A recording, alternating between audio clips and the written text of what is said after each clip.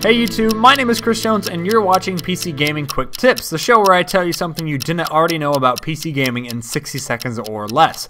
In today's video we're going to be addressing a commonly asked question and that is what is the easiest way to see in-game frame rates? Now traditionally speaking, a lot of people would recommend opening Fraps whether you're recording or not in order to display an in-game FPS. However, there is an easier way and today I'm going to show you how. Simply open up Steam and go to Steam Settings and you'll see this dialog box appear and you're going to want to go down to where it says beta participation and click change and verify that you are in fact on the Steam beta update and if you're not go ahead and click that and then click OK.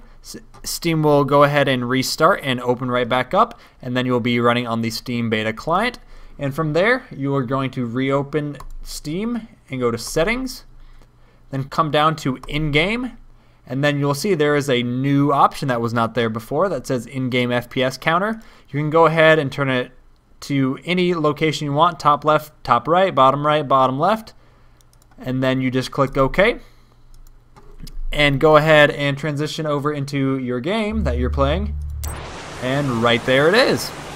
Since not a lot of people still use Fraps to record and only use it to monitor frame rates, this gives you one less program running in the background while you're gaming. Thanks for watching and be sure to subscribe for more PC Gaming Quick Tips.